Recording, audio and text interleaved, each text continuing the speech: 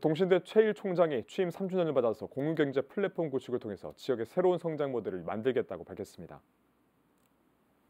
최 총장은 동신대를 e-smart mobility 캠퍼스로 만드는 한편 나주시와 캠퍼스를 국내 유일의 에너지 신산업 체험 city로 조성할 것이라고 전했습니다. 특히 2차 전지를 활용한 지역 공유경제 플랫폼을 통해서 지역 경제 발전과 일자리 창출, 취약계층 복지 혜택으로 이어지는 효과를 기대한다고 강조했습니다.